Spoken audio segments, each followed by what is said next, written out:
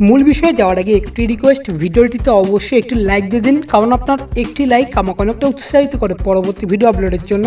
জল্পনা অনেকদিন ধরেই রাজনৈতিক মহলে ঘুরছিল, কিন্তু সেই জল্পনাকে সত্যি করেই এবার যথারীতি রাজনীতি ছাড়ার কথা সত্যি সত্যি প্রকাশ করে দিলেন খোদ বাবুল সুপ্রিয়। এদিন ফেসবুকে দীর্ঘ একটি পোস্ট করে রাজনীতি ছাড়ার কথা জানিয়ে দিলেন বিজেপি সাংসদ। তিনি জানিয়েছেন, তিনি রাজনীতি ছাড়ছেন, তবে বিজেপি ছেড়ে অন্য কোনো দলে, অর্থাৎ তৃণমূলে, এই মুহূর্তে যোগ দেবেন না। তিনি দীর্ঘ এই ফেসবুক পোস্টের শুরুতেই বাবুল লিখেছেন, চললাম, আলবিদা।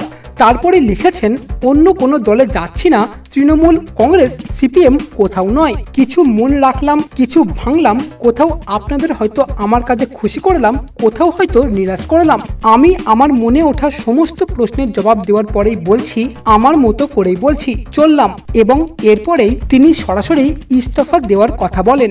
তবে উল্লেখ্য, মন্ত্রিত্ব থেকে অপসারিত হওয়ার পর থেকেই বিজেপির রাজ্য নেতৃত্বের সঙ্গে বাবুল সুপ্রিয়ের বাক বিদণ্ডা লেগেছিল, যার জেরে দলের সঙ্গে দূরত্ব ক্রমশ বাড়তে থাকে তার এবং মন্ত্রিত্ব থেকে সরে দাঁড়ানোর হতাশাতেই হয়তো তিনি এই চরম সিদ্ধান্ত নিতে বাধ্য হলেন। তবে গোটা ঘটনাতেই এই মুহূর্তে চাঞ্চল্য ছড়িয়েছে রাজনৈতিক মহলে।